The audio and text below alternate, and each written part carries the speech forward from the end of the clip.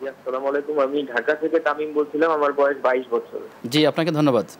যে আমার একটা প্রশ্ন আমার বা পায়ে টোটাল হিপ রিপ্লেসমেন্ট একটা অপারেশন আর কি মানে আর্টিফিশিয়াল জয়েন্ট জয়েন্ট রিপ্লেসমেন্ট বলে। এই ডাক্তার আমাকে বলছে চেয়ারে নামাজ পড়তে আর কি। এখন আমার মানে রোগের জন্য চেয়ারে নামাজ পড়া লাগে। চেয়ারে নামাজ পড়লে কেমন নামাজ হবে কিনা এইটাই জানতে চাচ্ছিলাম জি। আপনি থাকুন আমাদের সাথে আমরা জানার চেষ্টা করব ইনশাআল্লাহ তালা মোহতারাম আমরা রমজান মাসে এই চর্চাটা দেখি যে মসজিদগুলোতে ফজরের নামাজটা অনেক আগে হয়ে যায় একবারে সাহারির শেষ সময় আজান হয় নামাজ পড়ে। কিন্তু এই রমজান মার পার হইলেই পরে আবার অনেক বিলম্ব করে ফজর হয়। যদি আপনি অনুরোধটাকে একটু সুন্দর করে আপনার মতো তো আমারও ওই জিজ্ঞাসা। আপনার মতো আমারও এটা জিজ্ঞাসা।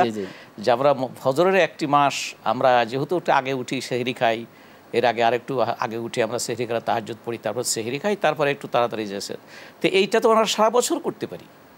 জি। এটা তো আমরা সারা বছর করতে পারি। তাহলে আমাদের যেটা হয় নামাজের নামাজের আউ্য়াল অক্তে হয়। এছাড়াও সেই হাদিসেও আছে রসুলাম বলেছেন গালাসের মধ্যে তিনি ফজর পড়তেন। এই চর্চাটা আমাদের, নামাজ পড়ে বের হওয়ার সময় তারা একজন একজনের মুখ মুখ দেখতেন না।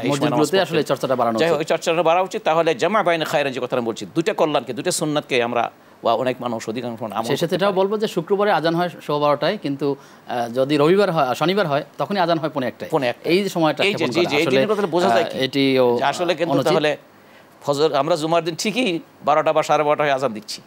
অথচ হয় যে আমরা যখন জহর নামাজ পড়ি তখন সেটা অনেক বিলম্ব করি। এখান থেকে আমাদের বেরিয়ে আসা উচিত। আমার কাছে ভুল চর্চা করা উচিত নয়।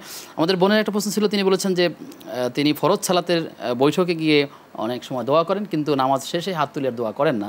তার এই আমল ঠিক আছে কিনা? হ্যাঁ, আমরা তো শেষ তাশাহুদে তো শেষে দোয়ায় মাসুরাই তো আছে তাই না? আমরা হয় কেউ যে আল্লাহ আল্লাহ ইন্নি জালাম তো নাফসি পড়ি কেউ আল্লাহ মিন্না আউযুবিকা আজ আল্লাহ মিন্না আউযুবিকা মিন ফিতনাতিল কবর ও মিন আযাবিল কবর অনেক দোয়া অনেকে পড়ে কয়েকটা দোয়া আছে। চারটা কাজ থেকে বিরত থাকার জন্য চেষ্টা কাজের জন্য আল্লাহর কাছে আহ, সাহায্য প্রার্থনা করে আল্লাহ বলেছেন।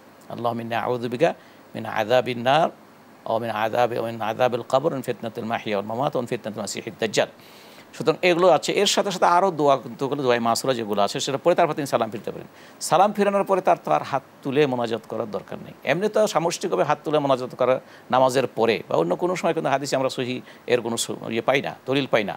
যে সামষ্টিকভাবে সকলে মিলে নামাজ বিশেষ করে আমাদের দেশে নামাজে পড়ে ইমাম সাহেবকে সবাই ব্যক্তিগতভাবে তো হাত তুলে ব্যক্তিগতভাবে তিনি একা হাত তুলে দোয়া করতে পারেন এবং হাত তোলা ছাড়াও করতে পারেন। করতে পারে তবে যারা দোয়া করবেন তাদের জন্য হাত তোলাটাও কিন্তু দোয়ার আদব। আদব। হাত তোলাটাও চাইতে হলে হাত তবে তুলতে হ্যাঁ, হয়, এটিও তবে হাত না তুলেও আমরা সবসময় যেমন হয়তো গাড়ির মধ্যে যদি বসে থাকি সেখানে কিন্তু আল্লাহর কাছে আমরা দোয়া করি কিছু। দোয়া আছে হাত তুলে যাওয়া যায় না আবার কিছু দোয়া আছে হাত তুলে তোলা সেটা ভালো সেই। অভ্যাসটা আমাদের। করা উচিত